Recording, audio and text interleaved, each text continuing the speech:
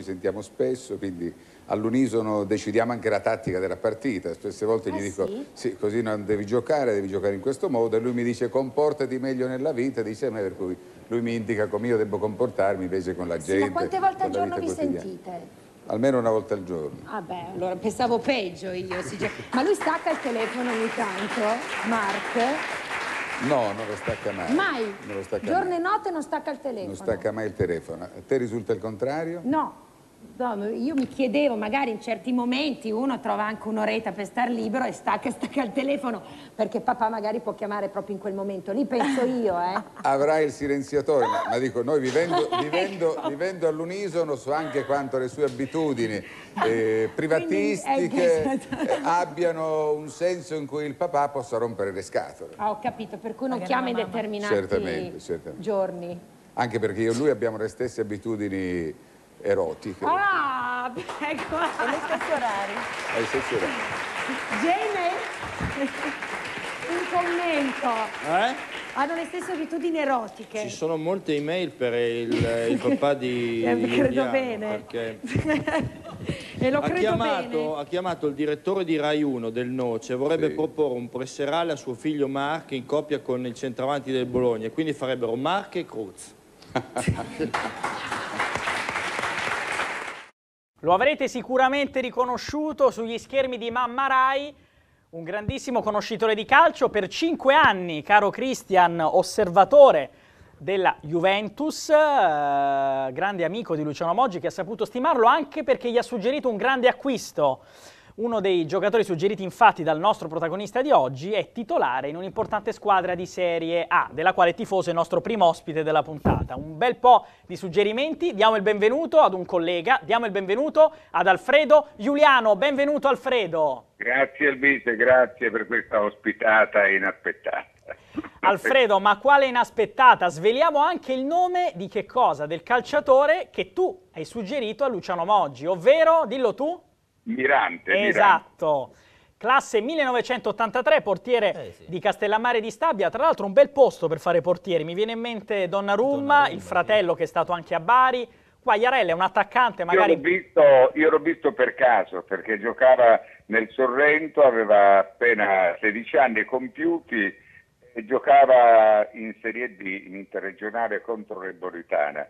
Mi colpì e quindi chiamai prima Ceravolo perché era Ceravolo a capo degli osservatori e quindi poi fu seguito anche da altri osservatori e nel giro di eh, tre mesi fu praticamente preso, insomma, per 270 eh, milioni di lire. E questo ti fa capire che la Juve non paga mai i giovani, però il valore di Mirante era un valore su cui la Juve immediatamente, dopo averlo fatto anche osservare da a persone più competenti di me, lo hanno acquistato subito. Insomma, fu una bella cifra perché al limite la, la Juve o sei un talento stratosferico oppure paga sia noi il premio di preparazione. Alfredo, noi abbiamo visto nel video introduttivo una delle tue tante partecipazioni televisive su Mamma Rai anche, sei stato Sì. anche uno dei protagonisti con Luisa Corna eh, dello storico A Notti Mondiali. a Notti Mondiali, dello storico programma che seguiva le vicende azzurre ai mondiali e sei stato anche spesso e volentieri ospite a quelli che il calcio. La A real- quelli che il calcio, sì. La Ho realtà... fatto, ho fatto molte trasmissioni a quelli che il calcio. A dire la verità, a lanciarmi eh, fu Luisa Corna, eh, ma fu la Juve eh, a scegliermi, quindi a selezionarmi tra i genitori spendibili che potevano far bella figura a notti mondiali. Ero andato per una sola puntata, invece poi Gavattini si accorse che ero vaccinato alla televisione, io gli dissi che facevo televisione da- dal 76, praticamente avevo 25 anni, e quindi disse Facemmo poi degli sketch con Luisa Corni in apertura, io sfoggiavo un neoclassicismo eh, tutto eh, portato a far sì che Luisa ne uscisse fuori come una donna di altri tempi, insomma. Era un gioco carino. Non a caso, io ti domando, il giornalismo che tu hai interpretato è un giornalismo anche molto vicino al nostro. Tu sei partito dalle televisioni regionali e dai giornali regionali e locali. Arrivare... Sì, ho, iniziato, ho iniziato col eh, giornale di Calabria, avevo accompagnato un giornalista, a dirti la verità, Cesarano, guarda, Rino Cesarano del Corriere dello Sport perché lavorava per il giornale di Calabria. E mi chiese dove si trovasse il giornale di Calabria, quindi io sono entrato insieme a lui, un redattore mi fa, sai scrivere? Ho detto guardi, ho preso la licenza liceale da un anno, dice, e quindi mi fece scrivere eh, dei pezzi, trascriverli addirittura, quindi cominciai così. Poi ho cominciato con la, le radio libere il 76 e subito dopo fui anche selezionato da Tele1 che era una televisione regionale. Ho fatto parte anche della RAI, quando la RAI regionale era aperta da poco, superai la selezione, ma non avevo poi successivamente i requisiti partitici che venivano, che venivano chiesti. Io ero fuori da quel giro e lo manifestai subito. Meglio fuori, meglio fuori che dentro da certi giri, ma tornando alle cose di casa nostra, tu hai scoperto Mirante e a Bari, Cristian mi insegna, c'è il nodo portiere. Perché? Battistini, ex grande portiere del Bari, ha, come, ha la procura di Mikai, che è questo giovane portiere che l'anno scorso, dopo il clamoroso errore contro il Crotone eh, di Juric, venne, Donnarumma venne, no scusatemi, Guarna, Guarna, venne Guarna. accantonato e iniziò a giocare Mikai. Quest'anno pare che per beghe contrattuali ci sia un po' di ritrosia nello schierarlo con continuità. Alfredo, tu che sei un uomo navigato e forse anche Christian converrà, anche se è un po' più giovane, Christian, di te, e lo dico nel rispetto della tua esperienza sul campo e anche come osservatore, ma il turnover fra portieri non è una fesseria? Il turnover tra portieri è assolutamente una fesseria perché il portiere deve, è uno dei pochi ruoli dove il portiere deve esercitarlo costantemente perché deve avere quella presenza. È un po' anche, se vogliamo, come il cacciatore, deve avere l'occhio allenato sulla traiettoria ed è purtroppo, infatti vediamo quando i portieri che eh, solitamente ristagnano in panchina trovano grosse difficoltà ad entrare in forma e ad approcciare la partita con una certa disinvoltura. È purtroppo un ruolo dove il portiere innanzitutto poi eh, se è un portiere che parla, se è un portiere che capisce lo schema difensivo è quello che deve suggerire, deve creare l'attenzione, soprattutto sui centrali che spesso si addormentano e purtroppo Ranocchia che ha giocato con voi è uno dei calciatori che trova difficoltà non perché non sia bravo, ma perché si addormenta. Soprannominato Morfeo dagli amici. Figlio diceva, diceva a Ferrara e a Montero quando giocavano in tre, se mi addormento prendetemi a calci, perché l'unico ruolo dove l'attenzione è costante, perché se ti addormenti ti fanno Sei finito. fuori subito, perché non si gioca a uomo, si gioca a zona, quindi queste volte c'è uno scambio di uomini, insomma, di traiettorie, o si fa una diagonale e ti trovi impreparato, insomma. Alfredo, in sostanza stai bocciando la scelta di, di Roberto Stellone che continuerà comunque con questo Quindi il portiere, il portiere, se è un portiere eh, bravo, se è un portiere che capisce come debbano giocare i suoi difensori, se capisce che qualche difensore latita su alcuni aspetti della concentrazione, lì la forza del portiere. È un allenatore della difesa. Poi, tra l'altro, io mi ricordo un noto telecronista preso in giro dagli amici della Gialappa che commentava le partite del Frosinone di tanti e tanti anni fa e diceva Frosinone culone, si può dire, cioè molto fortunato.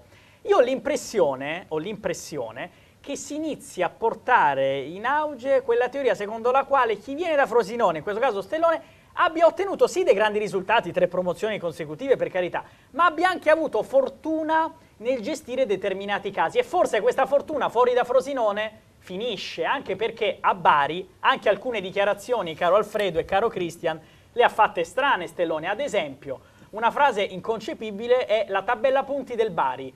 La tabella punti del Bari di Stellone è quella di Nicola. Peccato che Nicola con un punto in più è stato esonerato. Non a caso nei giorni scorsi il direttore sportivo Sean Sogliano ha pizzicato lo stesso Stellone praticamente dicendo Che "Ah, andava male in matematica. no, Io che si vive di risultati, che Frosinone non è certo Bari come Esatto. piazza e dunque non, eh, deve, deve fare in fretta. che pensi Sì. tu Alfredo di questo? Allora io conosco Stellone ed è un allenatore molto bravo, è certamente il migliore di, di Cavallo che conosco bene perché ha giocato con mio figlio anche nell'Unter 21, si conoscono bene da molti anni, è un bravissimo ragazzo, anche se non lo ritenevo adeguato per una piazza come Crotone, ma evidentemente a Crotone al di là di tutto hanno deciso di retrocedere, un po' perché hanno allestito un organico insomma, patetico per una Serie A e quindi hanno già deciso di ritornare in B, forse per i costi di gestione, un po' perché hanno la questione del terreno di gioco, ma Stellone è veramente un allenatore all'avanguardia. Il problema è che a Frosinone è diventato un ambiente calcistico a tutti gli effetti, ha trovato la quadratura, una dirigenza che ha saputo nello stesso tempo proiettare da una provincia delle province una squadra addirittura in Serie A. Anche un bel po' di bei giocatori, eh? poco reclamizzati, Ciofani ad esempio, a me piace, per la B è forte Ciofani. Eh? No, eh, eh, ripeto, eh, un presidente serio che non è quello del Latina, perché a Latina eh, si parla sempre male del Frosinone, si parlano dei pecorai, no, non è vero, i pecorai sono a Latina, con tutto il rispetto per gli amici di Latina, ma hanno un presidente inaccettabile. Poi c'è stato Leonardi che era ancora... Non ne parliamo perché mio figlio dopo averli salvati gli hanno rifiutato il preparatore atletico, gli hanno esonerato l'allenatore in seconda e praticamente lo hanno messo in condizione di andare via subito. Non potevano licenziarlo per via della salvezza, ma hanno fatto di tutto in modo veramente vergognoso. E io non perché sono amico di Mark e non perché Alfredo è il papà di Mark Giuliano, storica bandiera della Juve, sì, penso noi, che quello che ha fatto su queste cose, no, penso che quello che ha fatto Mark a Latina non lo farà più nessun altro. Questa è una Erano mia idea. già retrocessi a 20 punti all'inizio del giro d'andata ho già retrocessi. Ne ha fatti 30 e quindi li ha salvati, li ha portati anticipatamente con una giornata da, proprio battendo il pari tra le altre cose. Tra le altre cose. Alfredo, è stato un piacere ascoltarti. Io spero di risentirti per cercare, insieme a Cristian che ci arriverà di nuovo a trovare, perché parleremo anche un po' più di Serie B quest'anno, sì, in una parte di puntata ed è sempre bello avere un interlocutore come te che oltre ad essere un ex collega è stato osservatore della Juventus. Ti dirò, ti dirò, grazie a te, ti dirò che è molto più bello e interessante parlare di un campionato imprevedibile che sciocca gli scommettitori perché quasi mai riescono a prendere il risultato. Quindi è più analitico. Noi siamo ancora più scioccati dai quattro gol del Benevento, però per il resto ti posso garantire siamo in lenta ripresa. che abbiamo visto le streghe quella sera. Comunque, vabbè, Alfredo, grazie. Il Benevento viene sottovalutato, invece è una squadra che magari non vincerà eh, il, il, campionato, però è una squadra ben fatta, quadrata, da playoff. costruita sì, da play nel giro di tre anni. I pezzi, diciamo, i calciatori sono stati integrati volta per volta alla bisogna su ciò che necessitava il telaio richiesto dall'allenatore. Quindi è una squadra da non sottovalutare, gli manca l'esperienza della B, questo potrebbe essere determinante, però è una squadra che potrà dare fastidio a tutti. Speriamo, Alla lunga non so come si comporterà. Speriamo non più al Bari, perché noi ci siamo tolti questo macigno. Grazie Alfredo, ci il sentiamo. Presa, grazie, il Bari l'ha presa sotto gamba la partita quanto ormai si è svegliato quanto ormai era troppo tardi. Anche qualche torto arbitrale, ma non è bello parlarne. Grazie Alfredo. Sì, parliamo. grazie, grazie Alfredo. Alla prossima Ciao. pubblicità.